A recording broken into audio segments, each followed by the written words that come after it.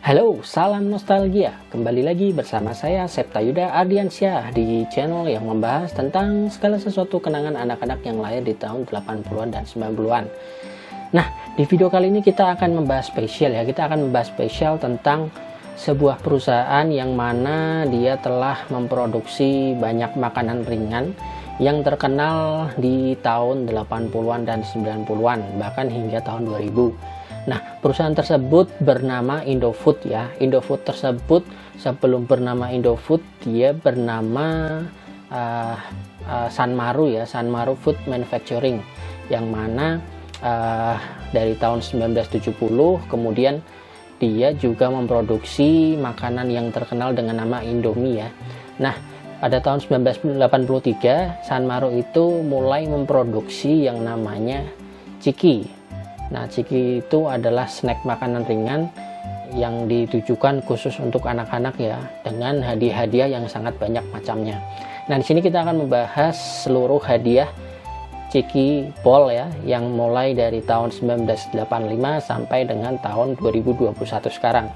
PT Sanmaru ini mengalami beberapa perubahan nama ya. Yang pertama dari 1970 dia bernama PT Sanmaru, kemudian tahun 19 83 dia mulai memproduksi ciki dan pada tahun 1989 mulai menggandeng yang namanya Frito-Lay ya. Frito-Lay itu adalah perusahaan dari uh, luar negeri yang mana dia memiliki lisensi dari snack Citos ya, Citos. Citos kemudian nah pada kolaborasi tersebut muncullah kolaborasi dengan nama PT Indofood Frito-Lay yang setelah setelahnya berubah menjadi Indofood Frito-Lay Makmur dan sekarang sudah lepas dari Frito-Lay dan sekarang berubah menjadi nama Indofood Sukses Makmur gitu ya. Nah, yang kita akan bahas di sini adalah hadiah-hadiah yang telah dikeluarkan dari Indofood itu sendiri mulai dari tahun 1985 sampai dengan tahun 2022. Nah, kita akan mulai dari 1985 dulu ya tahun 1985 Indofood mengeluarkan album Ciki Fantasi ya. Fantasi itu memiliki ada 20 stiker yang mana di dalam album tersebut kita harus menempelkan uh, stiker-stiker ya. Jumlahnya ada 20 dan dan dia bekerja sama dengan Dufan ya. Jadi untuk marketingnya pada saat itu dia bekerja sama dengan Dufan dan di dalam buku tersebut kita harus menempelkan 20 stiker tersebut sesuai dengan nama-nama wahana dan benua yang ada di album tersebut. Nah, di tahun 1986 Indofood mengeluarkan lomba tempel dan warna ya. Nah, lomba tempel dan warna ini mungkin kurang lebih sama seperti di tahun sebelumnya yakni kita harus menempelkan stiker di dalam sebuah uh, seperti karton majalah ya dan itu nanti akan mendapatkan hadiah. Nah, di tahun 1987 Indofood mengeluarkan games ya, mengeluarkan games kurang lebih seperti roulette ya. Roulette yang mana di lingkaran tersebut kita harus mengumpulkan uh, beberapa nomor maskot Ciki dengan berbagai aktivitasnya ya. Nah, selain itu juga terdapat uh, berupa Ciki Games ya, berupa karton berwarna kuning begitu. Ada maskot Ciki dengan berbagai macam aktivitasnya. Kemudian kalau kita lihat di belakangnya itu ada seperti game Otelo ya kalau kalian tahu ya. Jadi kita harus mengumpulkan uh, poin-poin itu dalam satu garis. Kalau dia sudah berhasil satu garis maka dia yang menang. Tahun 1988 Indofood mengeluarkan hadiah yang berupa komet dan peluit dan juga uh, namanya adalah sok gosok berhadiah ya. Nah, Komet itu mungkin seperti gangsing ya kalau sekarang kita sebut ya. Jadi dia bisa diputar begitu berwarna-warni, ada yang berwarna pink, ada biru dan lain-lain ya. Kemudian ada juga peluit, ya, itu seperti peluit peluit mainan ya. Kemudian ada sok-sok berhadiah itu dia berupa seperti karton kecil ya. Kemudian kita bisa menggosoknya menggunakan uang koin di bagian belakang dan itu nanti akan ada hadiahnya gitu. Selanjutnya di tahun 1989 Indofood mengeluarkan hadiah stiker timbul ciki ya. Stiker timbul ciki ini maskotnya itu kurang lebih mungkin berjumlah sekitar 16 uh, eh, maskot dengan berbagai macam kegiatan olahraga gitu ya. Dan ini juga sempat booming di masanya untuk stiker tempel hadiah 3D ini. Kemudian di tahun 1990 Indofood mengeluarkan hadiah lagi berupa Eh, gosok-gosok berhadiah lagi ya gosok-gosok berhadiah lagi sama seperti tahun 1988 Kemudian di tahun 1991 Indofood mengeluarkan lagi hadiah promosinya ya dengan tema uh, berbagai macam gambar indah ya dengan jumlah 40 macam ya. Jadi gambarnya itu adalah berupa hewan-hewan hewan-hewan yang dilindungi begitu. Jadi seperti kurang lebih pengetahuan umum pada masa tersebut dan dibaliknya itu akan ada dapat hadiah jika kalian beruntung. Kemudian di tahun 1992, nah di masa ini sudah mulai muncul produk-produk baru dari Ciki yang mana ada uh, Citos, kemudian Jet Set dan juga Citato. Nah pada tahun ini hadiah yang ditawarkan oleh Ciki itu juga apa namanya bermacam-macam ya ada sepeda motor seperti itu ya. Jadi uh, promosinya pada saat itu lebih kepada hadiah dan pengenalan dari produk-produk Ciki pada saat itu. Pada tahun 1993, Indofood mengeluarkan hadiah berupa 48 pertanyaan ya. 48 pertanyaan ini dia mengusung maskot dari Ciki dan Citos ya. Ini namanya adalah Chester. Chester itu adalah seorang citah ya, citah. Nah, di dalam 48 pertanyaan ini terdapat pertanyaan-pertanyaan pengetahuan umum yang mana juga mereka juga mentemakan untuk mengedukasi anak-anak di masa tersebut bahwa ternyata ada tebak-tebakan yang uh, bernuansa pengetahuan umum di dalam pengetahuan snack makanan ringan. Kemudian di tahun 1994, nah ini adalah cikal bakal hadiah yang booming di tahun 90-an. Ini namanya adalah Cikitos ya. Cikitos itu adalah berupa kepingan-kepingan dari hadiah Ciki dan jumlahnya adalah 100 pieces dan ada albumnya berwarna orange Nah, di sini mengusung sama dua maskot dari Indofood yakni Ciki dan Citos ya. Jadi ada Ciki dan Chester untuk setiap 50 pieces itu adalah seri dari Ciki dan 50 pieces adalah seri dari Chester gitu. Untuk warnanya bermacam-macam ya. Nanti untuk bagaimana cara memainkannya kita akan membahas di video berikutnya. Nah, di tahun 1995-96 uh, ini adalah peralihan uh, dari Indofood untuk mengeluarkan hadiah Tasos yang mana pada tahun ini mulai memunculkan hadiah Tasos pengenalan ya Tasos pengenalan yang ber, berupa maskot dari Citos Chester ya. Jadi dia adalah segi 8, segi 8 hexagon. Hadiahnya adalah maskot-maskot dari Chester itu sendiri gitu. Untuk total jumlahnya uh, kami belum mendapatkan informasi lebih lanjut tapi ya mungkin biasanya kelipatan dari 4 atau 5 ya kemudian di tahun 1996 nah ini di tahun ini Indofood mengeluarkan hadiah Tasos ya pengenalan hadiah resmi dari Tasos yang mana Tasos itu tidak hanya diproduksi di Indonesia tapi Tasos juga diproduksi seperti di Australia, Amerika, Afrika, kemudian di China dan di Meksiko dan banyak sekali negara-negara lain yang mengeluarkan hadiah Tasos ya Nah, Tasos ini pada tahun 1996 temanya yang diangkat adalah Looney Tunes dengan jumlah uh, 60 pieces untuk seri 1 yang bernama seri bintang 1 atau satu bintang. Nah, dia berwarna hijau dengan jumlah uh, 60 pieces ya. Nah, di seri 1 ini juga terdapat album yang berwarna hijau. Kita akan bahas di video berikutnya. Nah, masih di tahun 1996 uh, karena sukses dengan Tasos maka di seri kedua ini juga tetap memproduksi Tasos untuk bintang 2 atau dua bintang dengan warna biru nah warna biru ini uh, sama Lonetus juga ya namun di sini serinya adalah 40 pieces jadi lanjutan dari seri sebelumnya dalam tahun yang sama. Jadi yang tahun uh, awal tahun itu nomor 1 sampai 60 kemudian di bintang 2 itu nomor 61 sampai dengan 100 tahun 1996 lagi masih di dalam tahun yang sama untuk seri ketiga Indofood mengeluarkan hadiah Tasos dengan konsep yang sama dengan tema Looney Tunes dengan nomor uh, urutannya adalah 131 sampai dengan 160 kemudian masih selanjutnya untuk di bintang 4 di Olympic Tasos itu uh, di sini nomornya adalah 101 sampai dengan 130 nah yang unik di sini adalah kalau tadi di bagian akhir di bintang 2 itu sampai dengan 100,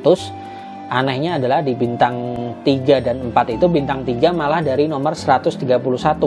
Sedangkan untuk yang bintang 4 dia adalah kelanjutan dari bintang 2. Jadi Untuk yang bintang 4 itu dari 101 sampai dengan 130. Namun yang bintang 3 malah nomor 131 sampai dengan 160. Namun untuk di album 3 dan 4 ini dia masih dalam satu album yang sama ya. Kalau yang di bintang 1 dan bintang 2 masing-masing memiliki album tersendiri yang berwarna hijau. Untuk yang bintang 3 dan 4 dia berwarna uh, merah dan biru.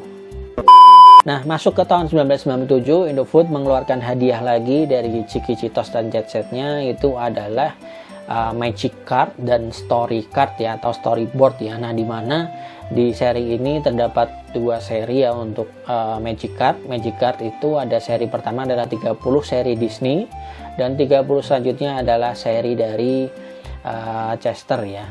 Nah, untuk di seri Disney itu uh, ada Donald Bebek, Goofy dan lain-lain ya. Jadi dia konsepnya adalah kertas tersebut bisa kita lipat-lipat begitu untuk menghasilkan sebuah cerita ya, untuk cerita dengan motif-motif kertas yang uh, bagus sekali ya.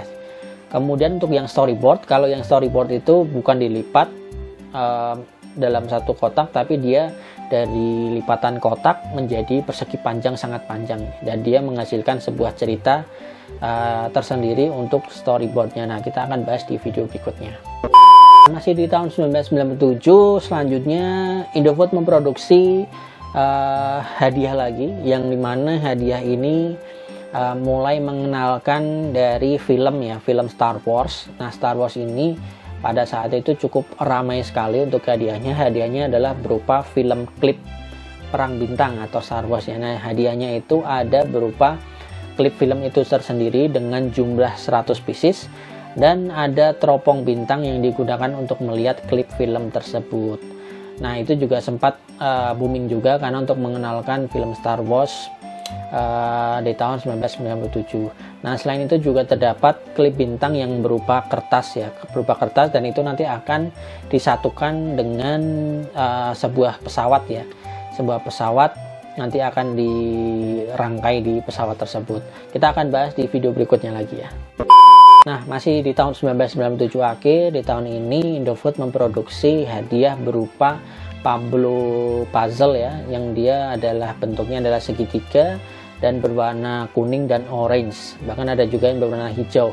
Nah, di seri ini terdapat kurang lebih 8 seri ciki dan 8 seri uh, Citos berwarna kuning dan orange dan ada juga yang hijau.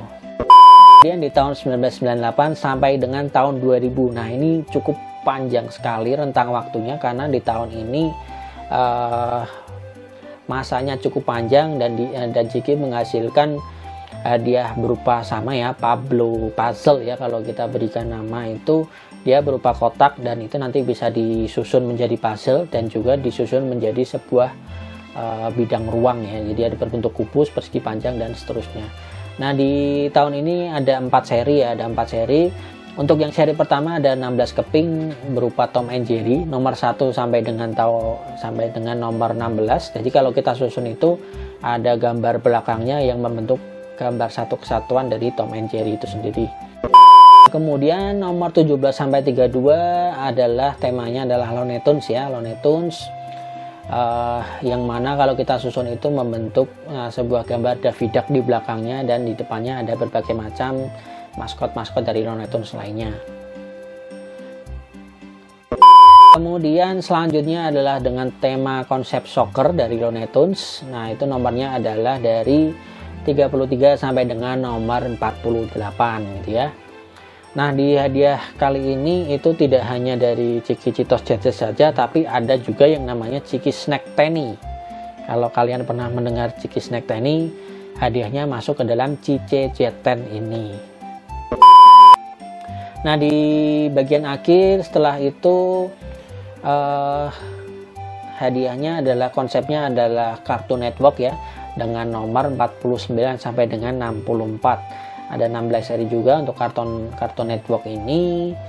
Uh, nah selanjutnya di tahun 2000 mulai masuk uh, Tazos lain Tazos Pin yang bernama Tazos Pin dari Pokemon generasi 1 nah jumlahnya ini kurang lebih ada 151 jenis Pokemon dan trainernya. Jadi di dalam Tazos ini ada beberapa Pokemon yang tidak dimasukkan. Nanti kita akan bahas di video berikutnya. Kemudian masih di tahun yang sama. Nah kita masuk di Tazos juga. Jadi dia, dia adalah Tazos 3D yang berbentuk Pokemon ya. Jumlahnya adalah 56 keping. Nah kemudian masuk di tahun 2001 dengan tema Tazos lagi Tazosnya masih sama dengan Pokemon karena Pokemon pada saat itu sangat booming sekali masuk ke Indonesia pada tahun 2000 dan penata yang juga di SCTV uh, pada tahun 2001 mengeluarkan Tazos Smash ya. Tazos Smash ini berjumlah 50 jenis uh, Pokemon ya. Ada 50 jenis Pokemon dan trainernya Nah, bisa dikatakan di Pokemon Smash ini adalah versi langkanya dari Tazos Spin generasi pertama ya. Jadi kalau kita mencari melihat Tazos-Tazos yang langka dari Pokemon Spin itu ada di Tazos Smash. Nah, kemudian masih masuk di tahun 2001, Tazosnya adalah Tazos Pentazo dengan konsep Pokemon generasi kedua. Uh, jumlahnya sendiri ada 50 keping dan kita akan bahas di video berikutnya. Dan ke tahun 2002 mengeluarkan hadiah lagi dengan konsep tema Pokemon. Namun pada saat tahun ini uh, mungkin kurang ramai juga untuk didapatkan. Jadi untuk persediaan ketersediaan dari Tazos ini juga cukup sedikit. Tazosnya ini adalah Tazos berupa kartu nama ya atau name card yang mana konsepnya adalah Pokemon. Kemudian di, di bagian belakangnya ada nama nomor telepon dan alamat ya kemudian di tahun 2003 nah di sini bekerja sama lagi dengan Looney Tunes dengan uh, untuk memperkenalkan film Looney Tunes pada tahun 2003 yaitu Looney Tunes Back in Action di tahun 2003 Nah di hadiah ini dia berupa seperti klip film ya bahannya ya. Tapi di situ adalah potongan film dari Looney Tunes Back in Action dan yang menarik di sini di bagian belakang itu ada tokoh uh, tersembunyi di dalam hadiahnya. Kalau kita gosok menggunakan uang, uang koin akan kelihatan tokohnya. Dan di bagian ujung bawah itu terdapat huruf-huruf yang mana pada tahun 2003 tersebut ada sebuah promo kita akan diundang ke Disneyland ya atau di mana ya di Disneyland ya kalau nggak salah itu uh, kita harus mengumpulkan huruf-huruf tersebut dengan kompletnya kita harus mendapatkan kalimat adventure with the Looney Tunes. Karena saya sendiri dulu pernah mengirimkan tapi kok tidak menang saya juga tidak tahu kenapa. Kemudian di tahun 2003 ada Tazos Beyblade ya. Tazos Beyblade ini dia berbentuknya seperti klip film juga, bahannya masih sama seperti di uh, Looney Tunes Back in Action. Namun di sini bentuknya adalah persegi panjang. Nah di Beyblade ini juga uh, mengadaptasi dari film animenya yang juga tayang di Indonesia ya sekitar tahun 2003-2004 ya Beyblade tersebut karena juga cukup booming. Uh, jumlahnya tersendiri masih belum diketahui tapi perkiraan ada 60 pieces atau mungkin bisa sampai 64 pieces kalau melihat dari pola hadiahnya. Kita akan bahas di video berikutnya. Nah, berikutnya di tahun 2004 hadiah yang dikeluarkan dari Indofood adalah hadiah uh, Tazo dari Yu-Gi-Oh karena Yu-Gi-Oh sendiri tahu uh, tayang di tahun 2003-2004 di RCTI ya pada waktu itu. Nah, untuk jumlahnya sendiri ada 40 pieces Tazo Spin Yu-Gi-Oh. Kemudian masih di tahun yang sama 2004 selain dari Tazos Yu-Gi-Oh Spin ada juga Tazos dari Metallic Yu-Gi-Oh yang mana bahannya itu adalah logam ya jadi kalau kita lempar dia akan berbunyi seperti logam jatuh atau bisa juga kita sebut dengan nama seng juga ya. Nah untuk di Taso seri ini jumlahnya adalah 60 pieces dengan warna-warni untuk di setiap temanya.